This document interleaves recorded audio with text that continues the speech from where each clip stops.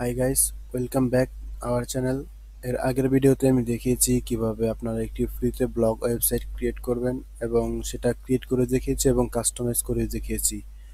এই ভিডিওতে আমি দেখাবো কীভাবে একটি ফ্রিতে ডোমেন নেবেন এবং সেই ডোমেনটি কীভাবে আপনার ব্লগ ওয়েবসাইটের সাথে কানেক্ট করবেন।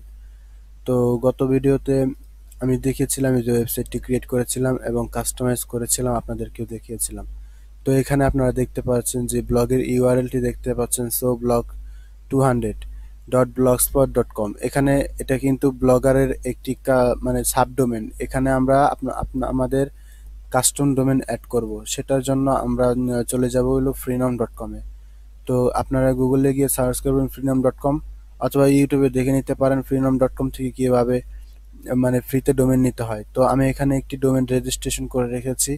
এই যে ডোমেনটি এখানে রেজিস্ট্রেশন করে রেখেছি। এখন এটাকে আমরা ব্লগারের সাথে সম্পূর্ণভাবে কানেক্ট করে দেখাবো। তো সম্পূর্ণভাবে কানেক্ট করার জন্য আমাদেরকে একটি মাধ্যম ইউজ করতে হবে, সেটি হচ্ছে ক্লাউড ফায়ার এখানে আমি ক্লাউড ফায়ার লিখে সার্চ করছি সিএল এই যে ক্লাউড ফায়ার এই ক্লাউড ফায়ারের মাধ্যমে আমরা আমাদের ব্লগারের সাথে অ্যাড করব মানে এই যে ব্লগের সাথে এই এই জায়গায় আমরা অ্যাড করব। তো আমরা ক্লাউড ফায়ারে যাচ্ছি, তারপর এখানে আমরা লগ ইনে ক্লিক করব বা অথবা গেট স্টার্টেড ফ্রি এখানে কি ক্লিক করব। আপনাদের যদি প্রথম ওয়েবসাইট ক্রিয়েট করা থাকে মানে এই ওয়েবসাইটে যদি অ্যাকাউন্ট করা থাকে, তাহলে আপনারা লগ ইনে ক্লিক করবেন। তো এখানে দেখছি আমার ওয়েবসাইটে মানে এখানে মানে অ্যাকাউন্ট করা আছে কিনা আমি একটু চেক করছি। তো এখানে অ্যাকাউন্ট আমার করা ছিল, তো আমি এখানে লগ করে নিচ্ছি। তো এখন লগ করার পর তো এখানে লগ ইন করার পর আমরা এখানে দেখতে পারব যে কোনো সাইট অ্যাড করা নেই। তো এখানে সাইট অ্যাড করার জন্য আমরা এই যে ওয়েবসাইট এখানে ক্লিক করব। এখানে ক্লিক করার পরে এই যে, এই জায়গায় নিয়ে আসবে। তো এখানে আসার পরে প্লাস এই যে অ্যাড সাইট এখানে ক্লিক করব। তো অ্যাড সাইটে ক্লিক করার পর এখানে দেখতে পারবেন যে, এই যে এখানে কিন্তু সাইট এক্সাম্পল দিয়ে দিচ্ছে এক্সাম্পল ডট কম তো এখানে আপনাদেরকে এখানে, এই যে আপনারা যে ওয়েবসাইটটির মানে ইউআরএলটা বানিয়েছেন, সেটা সম্পূর্ণভাবে কপি করবেন। কপি করে, এখানে আপনারা ক্লাউড ফায়ারে এসে এখানে পেস্ট করে দিবেন। এখানে পেস্ট করার পর মানে আগে ডাব্লিউ ডাব্লিউ অথবা এসটিটিপি এগুলো কিছু দিতে হবে না। শুধুমাত্র আপনাদের ইউআরএলটা এখানে পেস্ট করে দিতে হবে, যেটা রেজিস্ট্রেশন করেছেন। তারপর এখানে ক্লিক করতে হবে। অ্যাড সাইডে ক্লিক করতে হবে। তো অ্যাড সাইডে ক্লিক করার পর, এখানে একটু ওয়েট করবেন। এখানে ওয়েট করার পর দেখতে পারবেন যে এরকম একটি অপশন আসবে। তো এখানে আমরা, এখানে দেখাচ্ছে যে প্রো সিস্টেমে মান্থলি বিশ ডলার পে করতে হবে। তো আমরা এগুলো নেব না। আমরা ফ্রিতে যেটা দিচ্ছে সেটা আমরা নেব। ফ্রি এখানে ক্লিক করে কন্টিনিউতে ক্লিক করব। তো কন্টিনিউতে ক্লিক করার পর আমরা এখানে দেখতে পারব যে এখন ডিএনএস ম্যানেজমেন্ট সিস্টেমটা চলে এসেছে। তো এখানে কিছু ডিএনএস রেকর্ড অ্যাড করতে হবে। তো ডিএনএস এখানে একটু লোডিং নিচ্ছে। তো এখানে ডিএনএস আগে থেকে কিছু অ্যাড করা ছিল, সেগুলোকে আমি এখন ডিলিট করে দিচ্ছি।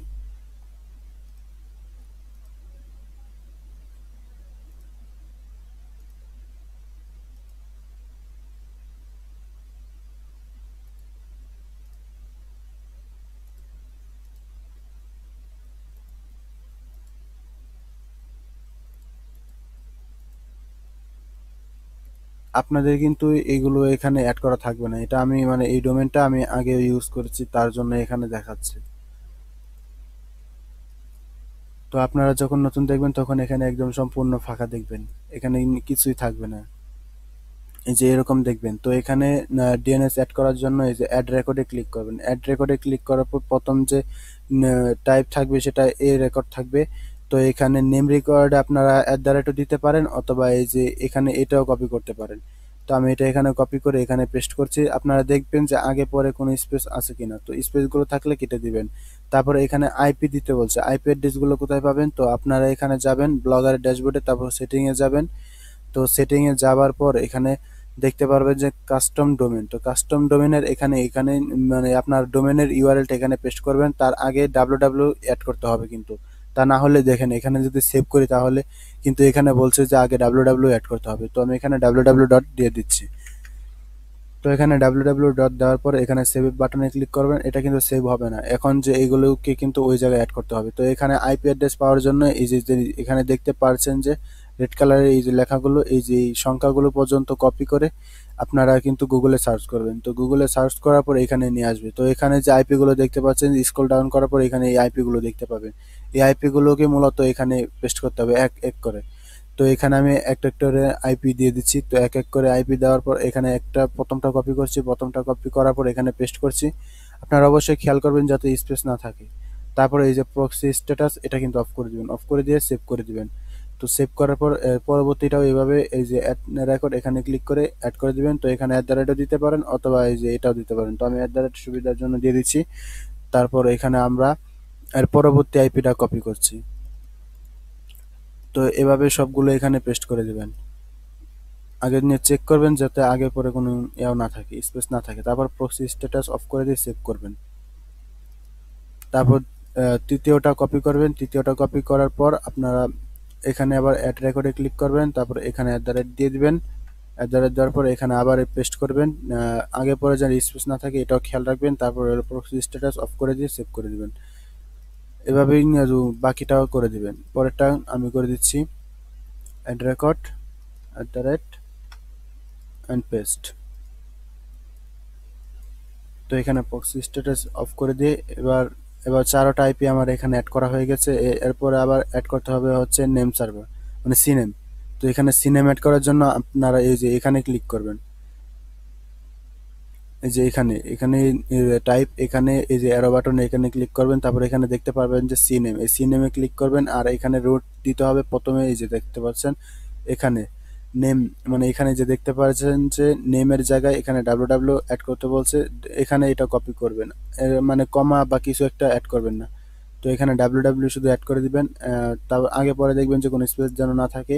তারপর টার্গেটের জায়গায় এই যে এটা দিতে হবে ডেস্টিনেশন জিএইচ জিএইচএস এটা এই ডট কম পর্যন্ত কপি করে এখানে পেস্ট করে দিবেন। তারপর এখানে প্রক্সি স্ট্যাটাস অফ করে দিয়ে এটা সেভ করে দিবেন। তারপর আবার অ্যাড রেকর্ড আর একটা সিনেম অ্যাড করতে হবে। তো এখানে সিনেম সিলেক্ট করে দিয়ে আমি পরবর্তী নেমটা অ্যাড করে মানে কপি করে নিচ্ছি। এটা এই পর্যন্ত কমা পর্যন্ত কপি করবেন, কিন্তু কমাটা কপি করবেন না। কমা পর্যন্ত কপি করে এখানে পেস্ট করে দিবেন। তারপর এখানে এখানে টার্গেটটা এখানে এখান থেকে কপি করতে হবে। মানে ডেস্টিনেশন জিবি এখান থেকে এই ডট কম পর্যন্ত কপি করবেন। কপি করে এখানে পেস্ট করে দিবেন। দেখবেন যে আগে পরে যদি কোনো স্পেস থাকে সেটাকে অবশ্যই রিমুভ করবেন। এটা আমি বারবার বলছি, না হলে কিন্তু সেটা মানে এই ক্লাউড ফায়ারের সাথে আপনার ডোমেনটা অ্যাড হবে না। তারপরে এখানে সেভ করে দিবেন।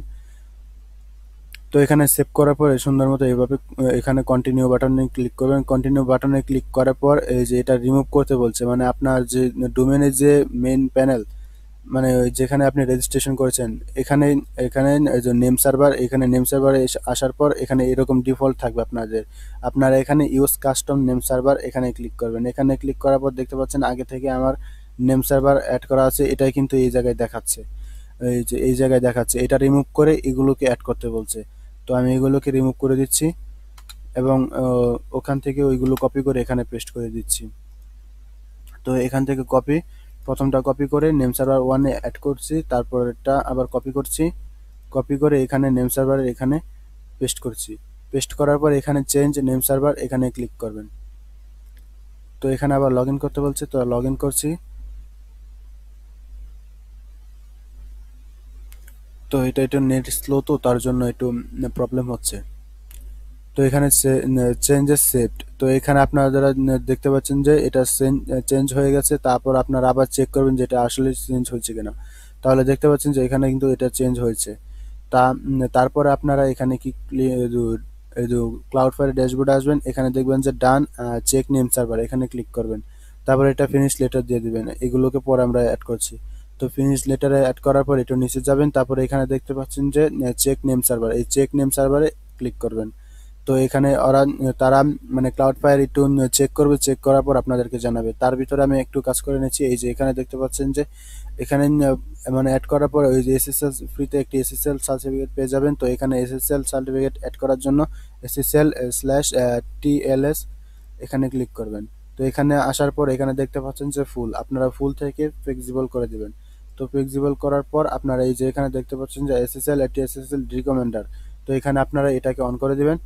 এটাকে অন করার পর আপনাদের এসএসএল কিন্তু মানে অ্যাড হয়ে যাবে সাথে সাথে।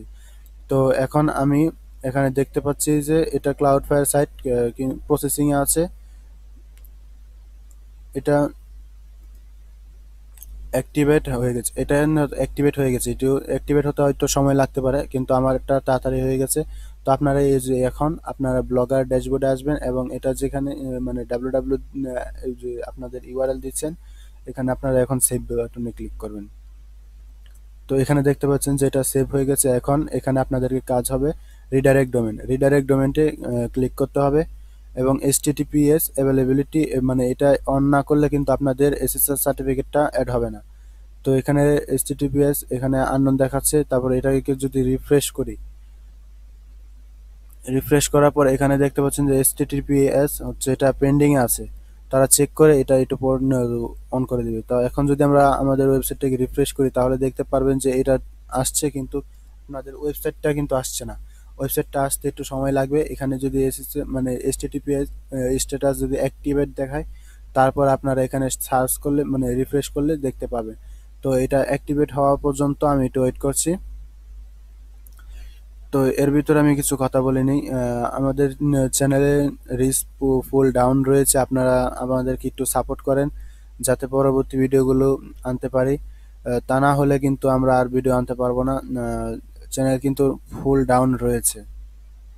তো আপনারা একটু এই বিষয়টাকে একটু খেয়াল রাখবেন এবং চ্যানেলটাকে সাবস্ক্রাইব করবেন। আর ভিডিওটাকে কিন্তু আপনাদেরকে এটা আপনাদের ফেসবুক টাইমলাইনে একটু শেয়ার করে দেবেন। যাতে পরবর্তী ভিডিওটি মানে আপনারা এই ভিডিওটি কিন্তু যাতে আপনাদের বন্ধু বান্ধবরা দেখতে পারে। আপনাদের বন্ধু বান্ধবের যাতে উপকার হয়। আর আগের ভিডিওটাও কিন্তু আপনারা একটু শেয়ার করে দিবেন। গাইস দেখতে পাচ্ছেন এখানে এখানে কিন্তু এই যে এইচটিটিপি এস অ্যাভেলেবিলিটি এটা কিন্তু অ্যাক্টিভ হয়ে গেছে। অনেকক্ষণ পরে কিন্তু অ্যাক্টিভ হলো। তো, এখন যদি আমি এখানে ভিউ ব্লগে ক্লিক করি তাহলে আমাদের ব্লগটি তাও আসছে না। সমস্যা নেই, আর একটু অপেক্ষা করলে কিন্তু এটা চলে আসবে। তো এর পরবর্তী ভিডিওর জন্য অপেক্ষা করুন। এর পরবর্তী ভিডিওতে আমি দেখাবো কীভাবে এই যে এটা মানে এই ব্লগের, ব্লগটাকে কীভাবে আপনারা গুগলে খুঁজে পাবেন মানে গুগলে খোঁজার জন্য, ওই যে সার্চ কনসোলে কীভাবে অ্যাড করবেন সেটাও আমি দেখিয়ে দিব। তো ভিডিওটি এই পর্যন্তই। দেখার জন্য ধন্যবাদ। আর যদি আমাদের চ্যানেলে নতুন হয়ে থাকেন অবশ্যই চ্যানেলটাকে সাবস্ক্রাইব করে পাশেই থাকবেন। ধন্যবাদ সবাইকে। আল্লাহ হাফেজ।